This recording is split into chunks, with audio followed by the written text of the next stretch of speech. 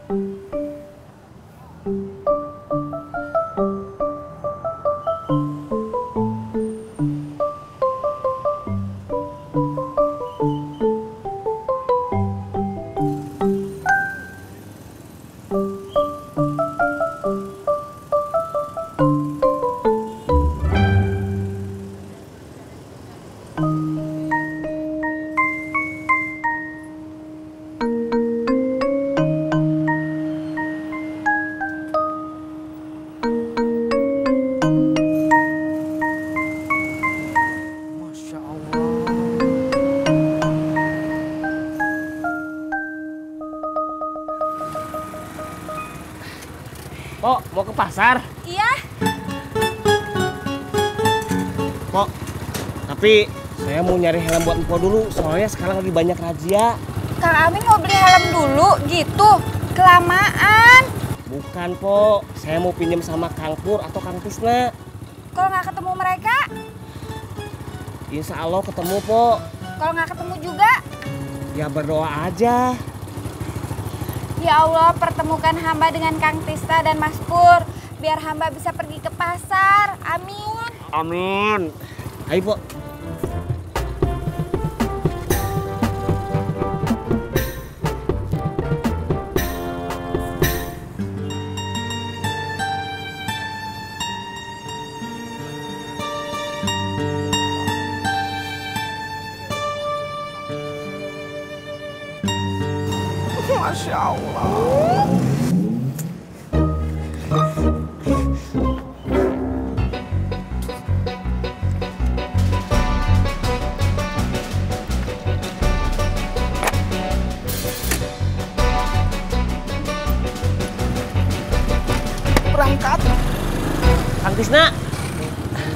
Pinjam helmnya. Lama. Pok, lama. Apanya? Pinjam helmnya. Siapa yang mau pinjem helm? Saya. Terus Kang Tisna kenapa nanyanya sama saya? Saya nggak nanya sama Potati. Saya nanya sama Kang Amin. Aduh. Biar. Pusing. Udah. Sini Kang helmnya, Kang. Itu. Makasih, Kang.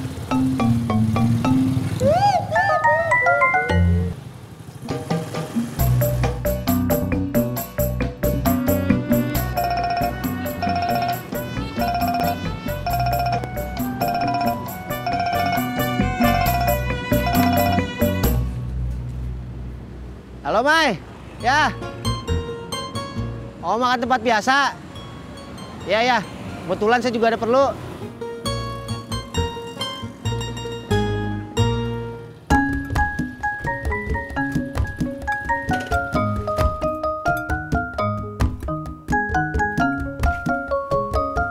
kenapa muka lu, Tis? Bang Akriknya susah dihubungi, Po. Terus gimana ini, Po? Yuh, gua kagak tahu itu mau urusan hidup lu. Saya juga nggak tahu. Ya kalau lu kagak tahu, tanya sama bapak lu sono. Masalah beginian mah, bapak saya juga nggak tahu, Po.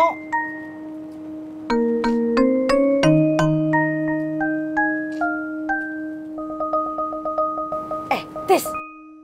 Mending lu temuin si Udin. Kan waktu motor lu hilang, inget nggak lu? Kan si Udin yang nemuin malingnya. Ya kan? Ingat, Po. Ya udah, mendingan lu temuin si Udin. Siapa tahu dia bisa nolongin lu. Iya bener, Po. Eh, Tis. Lu kagak ngopi apa ngeteh dulu? Nanti aja po kalau udah ketemu Bang Udin. Ya lu nemuin Udin nyantar-ntaran aja. Tapi saya udah tanggung berdiri po. Mari. Iya dah. Pelan-pelan aja, Tis.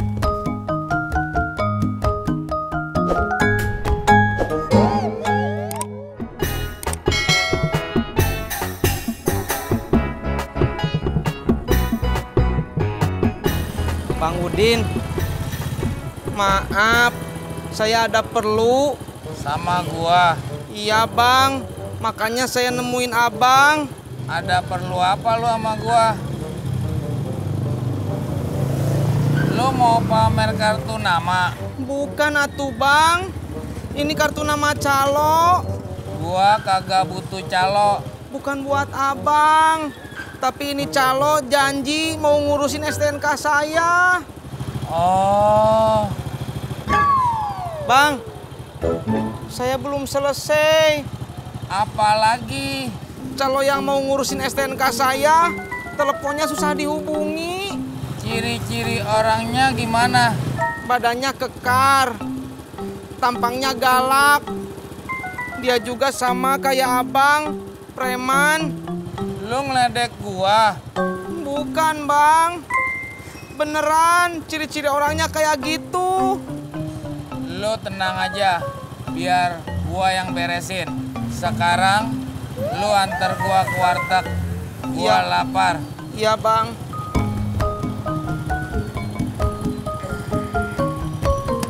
Berangkat.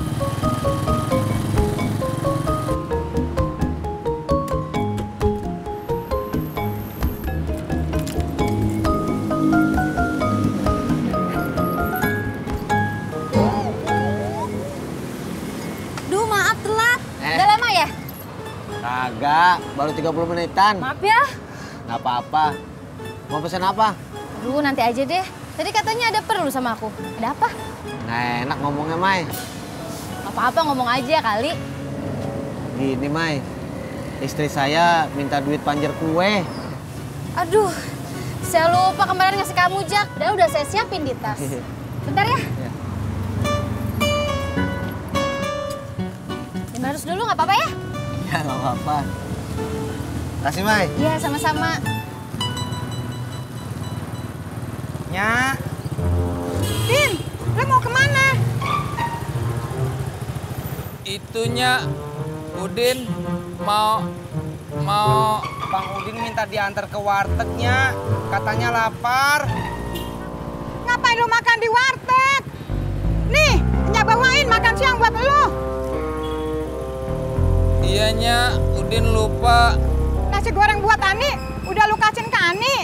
Udahnya Ya udah, Nya mau pulang dulu. Jangan lupa, nasi dihabisin. Ianya Tis Puter balik ke parkiran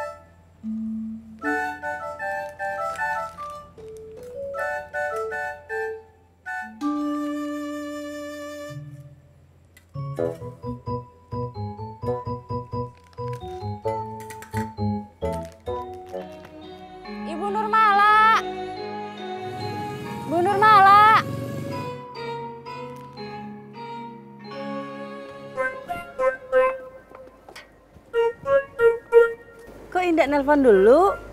Mau pesan rendang lagi ya? Boro-boro, ini aja mau saya kembalikan. Kenapa? Rendangnya semuanya gosong.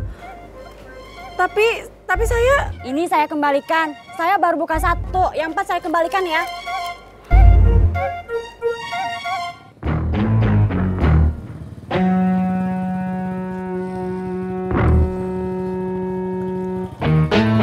Saya permisi bang. Sebentar Nggak usah bang. Lu kagak mau terima uang dari gua? Mau bang. Mari.